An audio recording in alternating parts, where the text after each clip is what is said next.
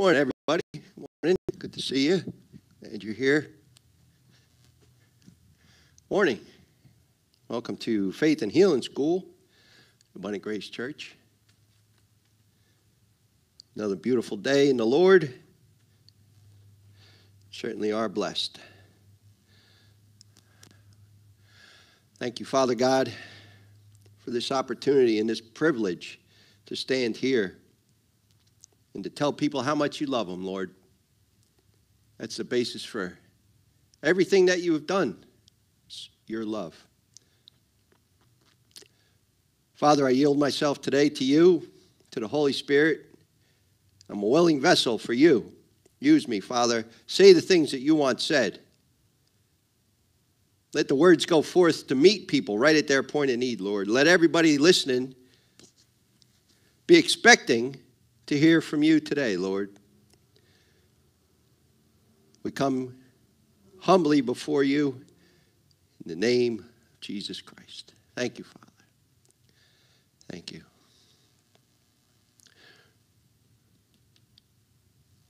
We have Faith and Healing School every Tuesday through Friday. We welcome everybody that came here. We welcome everybody that's watching online. Everybody's welcome to come.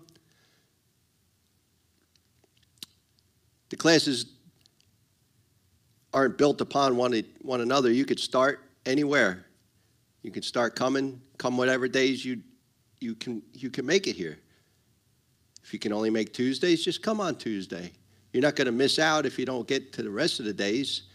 And you can always catch up and watch all of the past videos and any one you missed on our YouTube channel, WAGC TV1. You can catch everything on uh, our website, abundantgracechurch.com. You can reach us through the website. Send us email. There's a phone number there. You'll get somebody. We want to bring everybody together. We want to unify the church because there's power and there's strength in unity. So we offer many opportunities for people to get together. Sunday service, Wednesday service evening in evenings at 10 o'clock at 7 o'clock.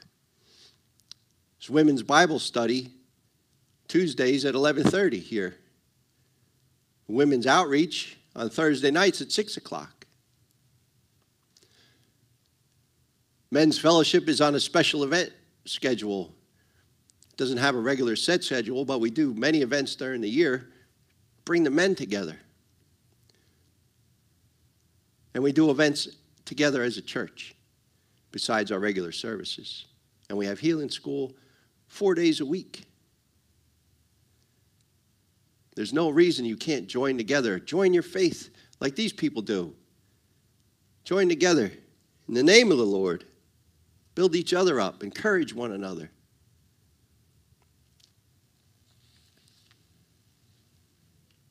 That's what we're here to do. Encourage one another bring new people into the faith. That being said, we're going to pray. We're going to pray our Ephesians and Colossians prayers so that God will make us better equipped to do His work here. We're only here for a short time. He's provided provision to do His work here. And then when we're done working here, we go home and rest forever in paradise without any struggles, without any pain, without any sickness, without any aggravation. It's just blessed peace and tranquility, presence of the Lord. Hallelujah. Ephesians chapter 1, verses 17 through 23. I pray to you, the glorious Father, the God of my Lord Jesus Christ, that you would give me a spirit of wisdom and revelation as I come to know you better, that I will have deeper insight.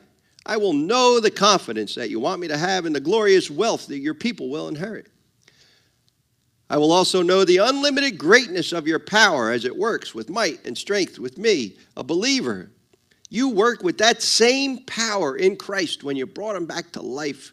You raised him from the dead. And you gave him the honored position, the one next to you, the Father on the heavenly throne.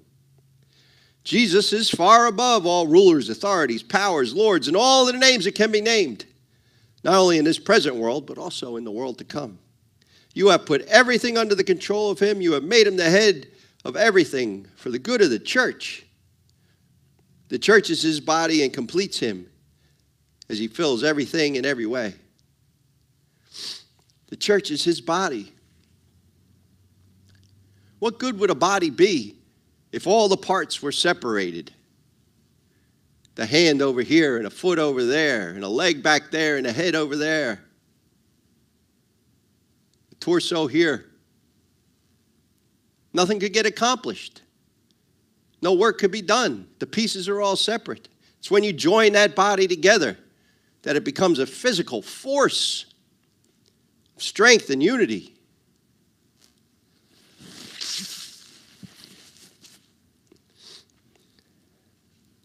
That's why the, the church is referred to as the body of Christ, because together the body accomplishes things.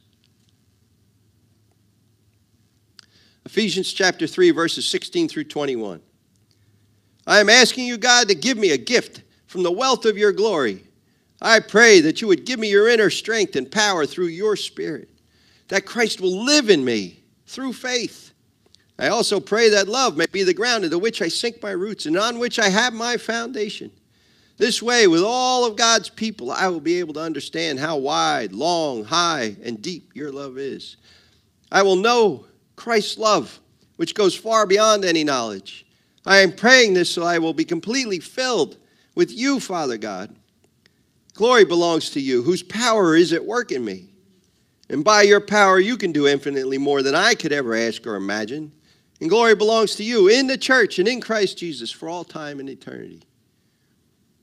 God, equip me for this work. That's what we're asking for. This work that He has for us to tell people the good news. Colossians chapter 1 verses 9 through 13. For this reason, I have not stopped praying about this. I ask you, God, to fill me with the knowledge of your will through every kind of spiritual wisdom and insight. I ask that you that I ask this so that I will live the kind of life that proves I belong to you, Lord. That I will want to please you in every way as I grow in producing every kind of good work by this knowledge about you. I ask you to strengthen me by your glorious might with all the power that I need to patiently endure everything with joy. I also thank you, Father, for you have made me able to share the light, which is what you want me to inherit. You, Father God, have rescued me from the power of darkness, and you have brought me into the kingdom of the Son whom you love. Hallelujah.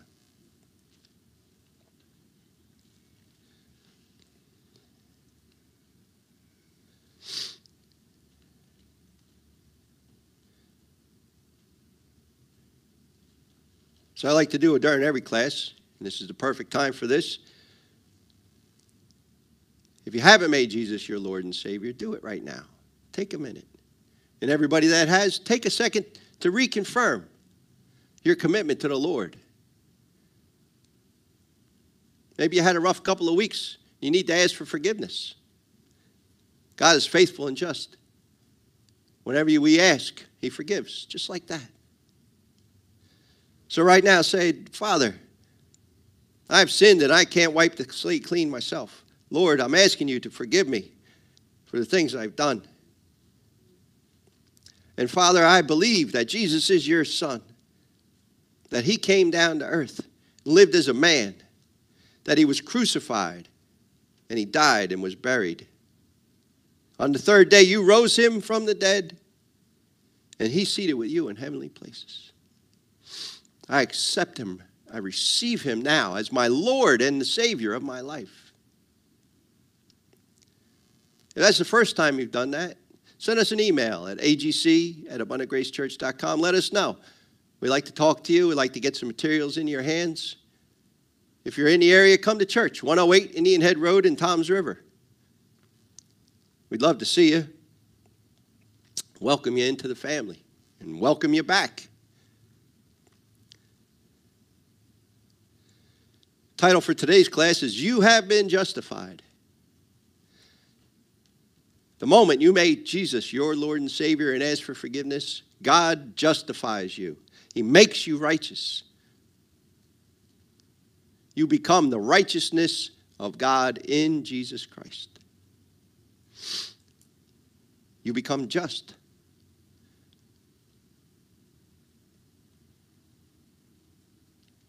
Today's devotion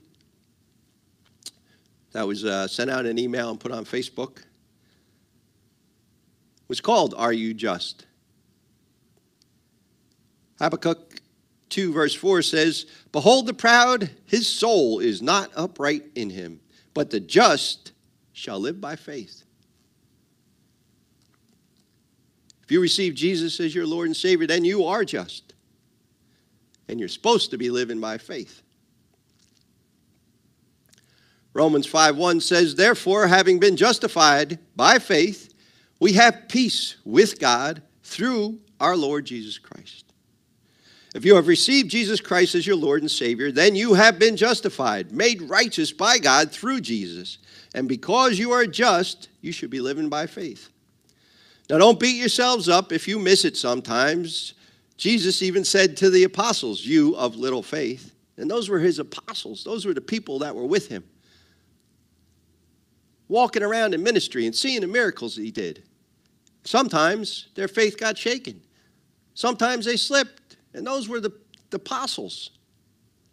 So don't beat yourself up if you miss it. But when you catch yourself in fear instead of faith, repent and remind yourself that God has justified you and made you righteous. And there is no need to doubt that his promises belong to you.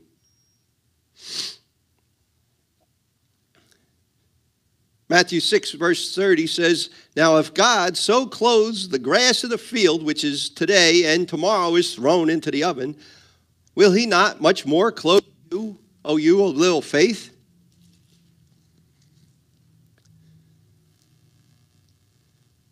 Matthew 8, 26 says,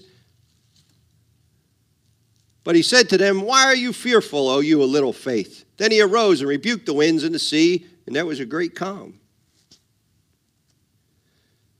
In Matthew 14 31, and immediately Jesus stretched out his hand and caught him and said to him, Oh, you little faith, why did you doubt?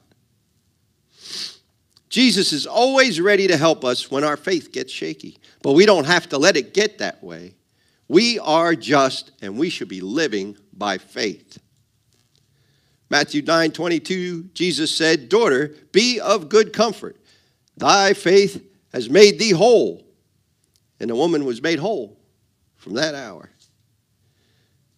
You are just, and it's your faith in God's word that will make you whole. Complete health and prosperity in every aspect of your life. Not just well, whole, make you whole, complete. Romans 8 30 uh, to 33. Moreover, whom he predestined, these he also called. Whom he called, these he also justified. Whom he justified, these he also glorified. What then shall we say to these things?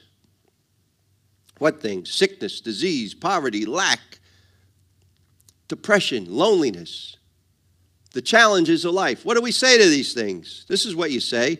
If God is for us, because God justified me, who could be against me? Who could stand up against me?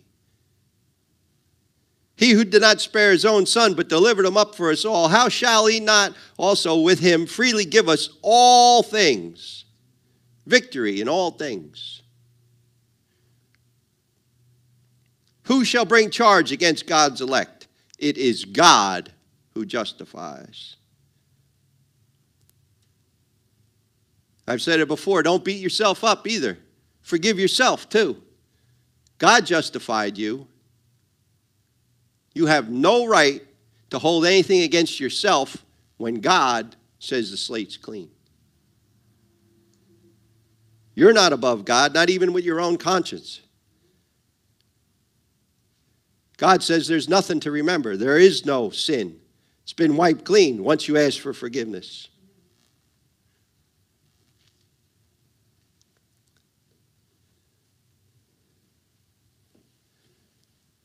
Brother Hagin's got two great books out Faith Food Devotions and Health Food Devotions. This is today's Faith Food Devotion from Brother Hagin. Psalm 119, verse 89 Forever, O Lord, your word is settled in heaven, stands firm as the heavens. And he wrote, Sickness is not from God. I like to say, Himself took my infirmities as though I were the only person in the world, and Himself bare my sicknesses. That means it's the will of God to heal me and for me to have what Jesus purchased for me. God wants me well. Don't let your head think any other way because people have been religiously brainwashed instead of New Testament taught. They think, well, maybe God has some purpose in this sickness. God doesn't have any purpose in it because God didn't put that sickness on you to begin with. Sickness and disease are not from God. They do not come from God, nor do they come from heaven because there isn't any sickness there. When you get it settled once and for all that it's God's will to heal you, you have won at least 50% of the battle. Settle on the fact that God wants you well, and that it is not the will of God for you to be sick. Settle it, not based on what I say, Pastor Hagin, Brother Hagin here, but what based on what the Word of God says. When you get the Word of God inside you, then neither the devil nor anyone else can move you from it. Why did Jesus take our infirmities and bear our sicknesses? so that we could be free from sickness and disease. This is the confession that goes along with that devotion today. God wants me well. Healing is the will of God because healing is in God's redemptive plan. Health and healing belong to me. Amen. Hallelujah.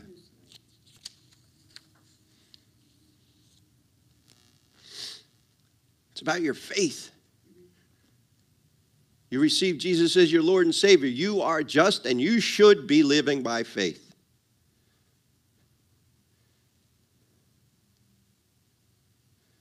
Luke chapter 7, this is verse 1, 1 through 10. Now, when Jesus concluded all his sayings in the hearing of the people, he entered Capernaum. And a certain centurion servant who was dear to him was sick and ready to die. So when he heard about Jesus, that's key right there. The first verse says, Now when Jesus concluded all his sayings in the hearing of the people, this centurion heard about Jesus. And he sent elders of the Jews to him, pleading with him to come and heal his servant. When they came to Jesus, they begged him earnestly, saying that the one for whom he sh- should do this was deserving, for he loves our nation, has built us a synagogue. Then Jesus went with them, and when he was already not far from the house, the centurion sent friends to him, saying to him, Lord, do not trouble yourself, for I am not worthy that you should enter under my roof. Therefore, I do not even think myself worthy to come to you, but say the word, and my servant will be healed. For I am a man placed under authority, having soldiers under me, and I say to one, Go, and he goes, and the other, Come, and he comes, and to my servant, Do this, and he does it. When Jesus heard these things, he marveled at them and turned around and said to the crowd that followed him, I say to you, I have not found such great faith, not even in Israel. And those who were sent, returning to the house, found the servant well who had been sick. The centurion had heard about Jesus and based his faith on what he heard. Have you heard about Jesus? Have you heard about what he's done for you? Base your faith on that.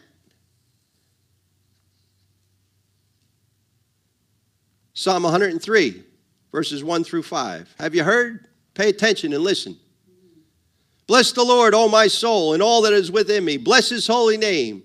Bless the Lord, O my soul, and forget not all his benefits, who forgives all your iniquities, who heals all your diseases, who redeems your life from destruction, who crowns you with loving kindness and tender mercies, who satisfies your mouth with good things, so your new youth is renewed like the eagles. Did you hear that?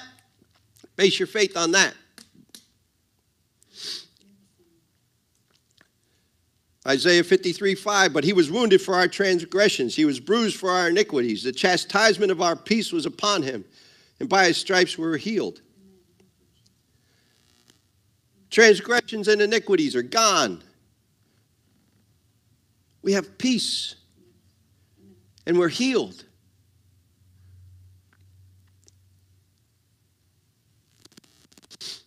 That was Old Testament. New Testament, Matthew 8 17, that it might be fulfilled, that was spoken by the prophet Isaiah, saying, He himself took our infirmities and bore our sicknesses. Just what we just read in Isaiah. Matthew saying that it might be fulfilled. 1 Peter 2:24, who himself bore our sins on his own body on the tree, that we, having died to sins, might live for righteousness. Righteousness, being justified by God, and by whose stripes you were healed. Did you hear that? Hear it. The centurion heard about Jesus. You're hearing about Jesus. The centurion based his faith on that.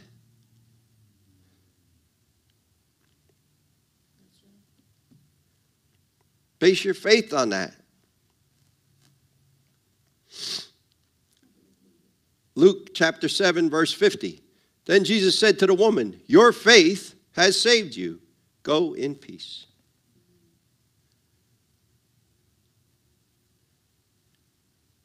There's no question in God's ability to heal. There's no question in God's ability to do anything. Just look around you. There isn't anything that's out of his realm of possibilities to accomplish. Just look how a plant grows.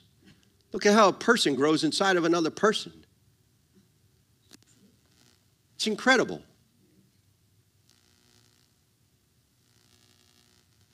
Think of how things are put in motion the planets and the stars, each one in just the right position. All the time, everything. Physical, tangible objects are held in place by the power of God there's a need in your life, God could put it in place. It's your faith that makes it happen. Luke 8 48, and Jesus said unto her, Daughter, be of good comfort. By thy faith has made thee whole. Go in peace.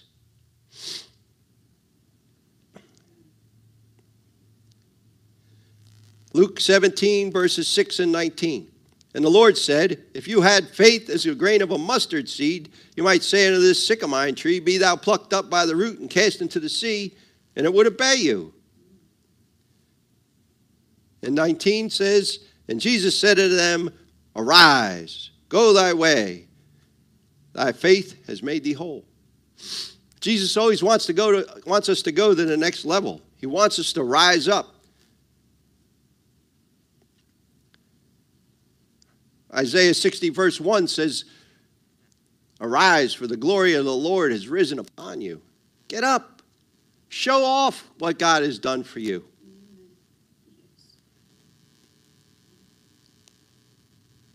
And remember, don't beat yourself up if your faith gets a little shaky. Just reach out to Jesus.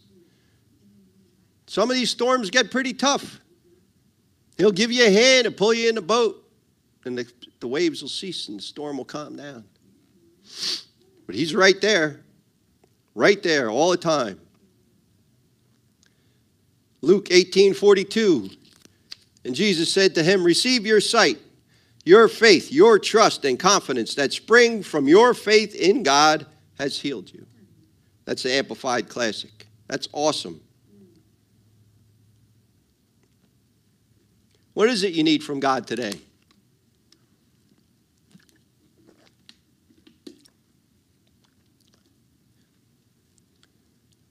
Use your faith.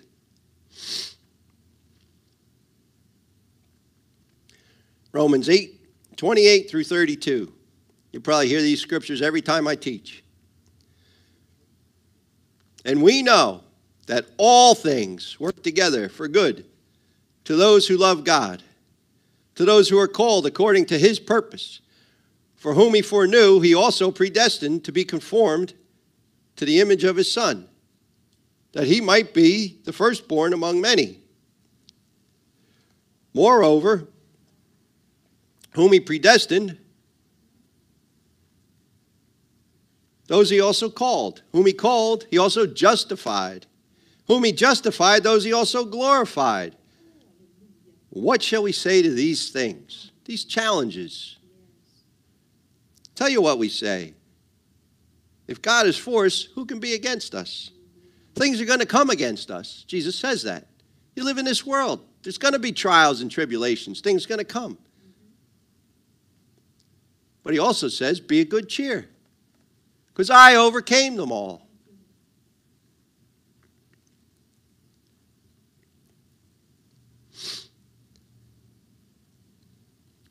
Now, don't get confused. He says, I overcame them all. And it also says, when you receive him as your Lord and Savior, you are in him and he is in you. So everything he has done, you have done.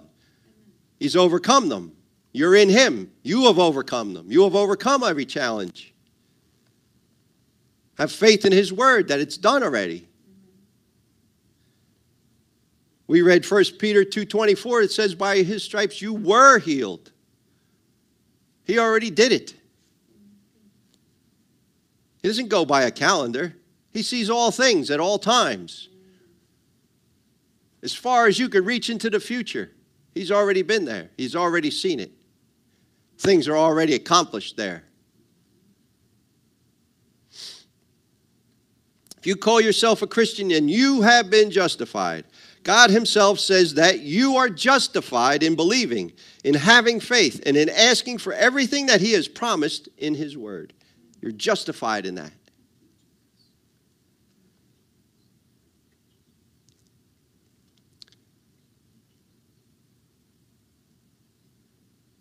It's by your faith.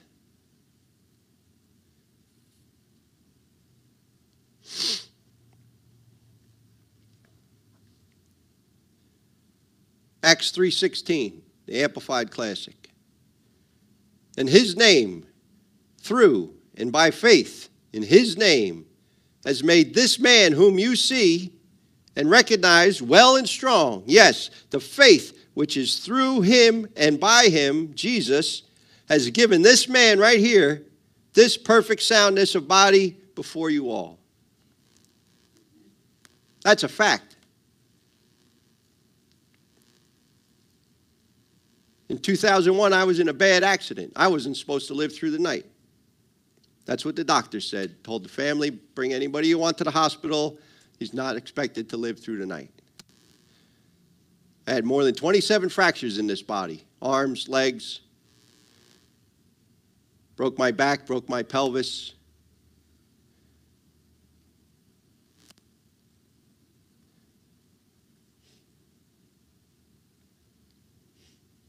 But it's by his name and faith in his name that I'm standing here right now. He did it for me, he'll do it for you.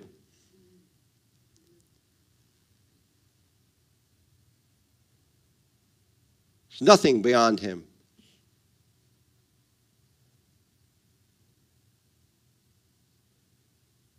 You have his word on the subject. You have his promise that he will fulfill his word.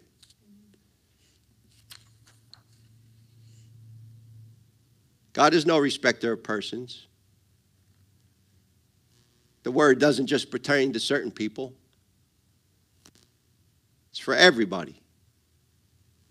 And every promise is guaranteed for everyone who accepts his son as the Lord and Savior. You get everything. You have eternity in heaven to look forward to, and you have all peace, prosperity here on earth. Everything provided for you based on your faith. The just shall live by faith. God's word is full of promises, full of prosperity, full of resolution, endless possibilities. He says things we could never ask or imagine, He'll do.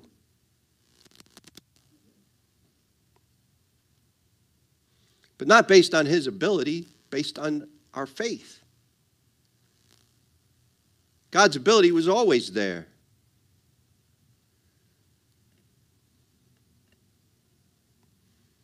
Jesus said he didn't do the works, God did the work based on the people's faith.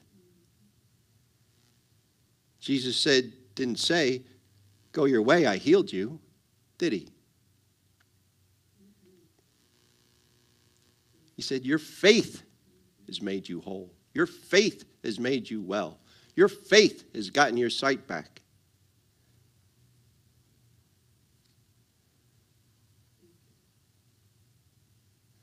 And we can use those scriptures for anything we need. It says, He who lacks wisdom, let him ask.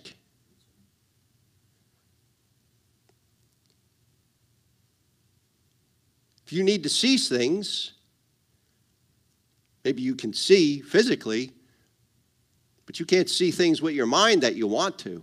You can't see a way to get around a certain uh, obstacle in your life or a way out of a financial burden. Have faith that God can show you the way. And He'll restore that sight to you. He'll give you that sight. He'll let you see with your mind the things you need to, to do and say, the pieces of puzzle you need to put in place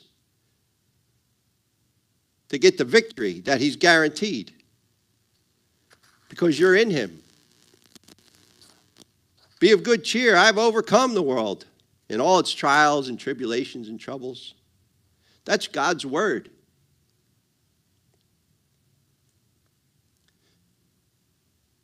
And He guarantees His word.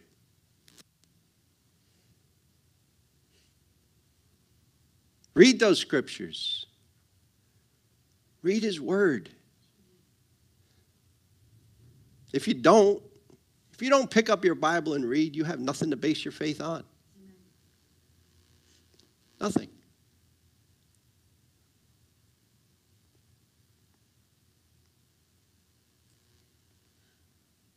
How did you hear how did you get saved? By faith, by hearing. You put your faith in something you heard. You put your faith in the fact that you believe Jesus is the Son of God. It's by your faith.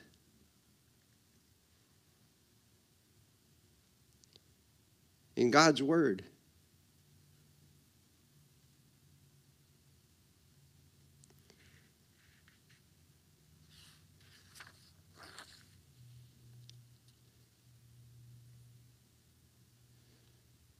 Receive Jesus as your Lord and Savior.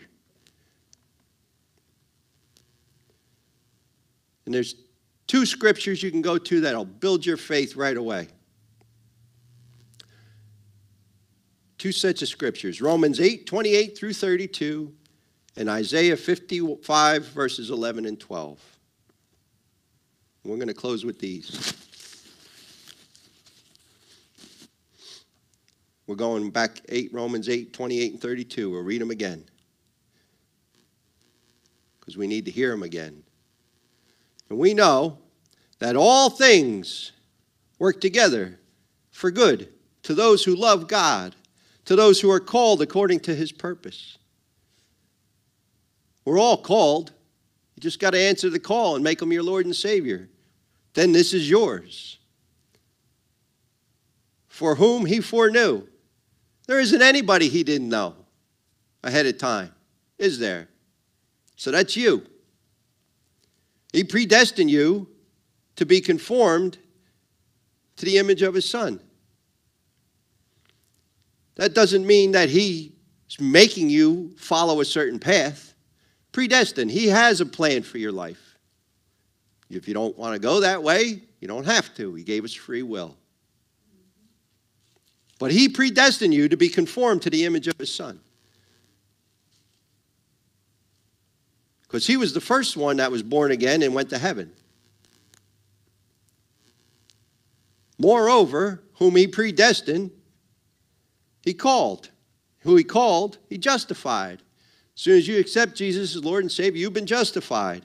justified in believing and having faith in and receiving all these promises. And he glorified you. What shall we say to these things? If God can be for, if God is for us, who can be against us? Who can triumph against us? Nobody. He who did not spare his own son, but delivered him up for us all, how shall he not also with him freely give us all things? That's God's word. And this is what God says about his word Isaiah 55, 11, and 12. So shall my word be that goes forth from my mouth. It shall not return to me void, but it shall accomplish that what I please, and it shall prosper in the thing for which I sent it. For you shall go out with joy and be led out with peace. The mountains and the hills shall break forth into singing before you, and all the trees of the field shall clap their hands. Hallelujah. That's God's word on the subject right there. He said, You can count on it. I said it, it's done, and it's going to prosper. It's going to accomplish what I said. Based, and if you believe it, on your faith. Thank you, Father. Thank you for your word today. Thank you for your incredible love. The more we understand your love, the more faith we will have in everything that you do for us, everything you provided for us.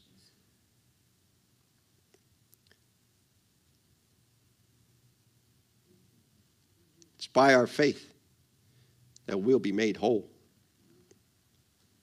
Thank you, Father. And thank you to everybody listening is getting met at their point of need, Lord. Lord, I ask you to wrap each person, the sound of my voice, wrap them in your love and arms of protection. Keep them safe. Keep them comforted. Keep them in peace. Bless their lives, Father. Bring them all together into the body. Bring us all here under one roof. As often as the doors are open, let the seats be filled. Joining together in faith, building each other up in faith, encouraging, strengthening. Thank you, Father. Hallelujah. Well, God bless you and have a wonderful day.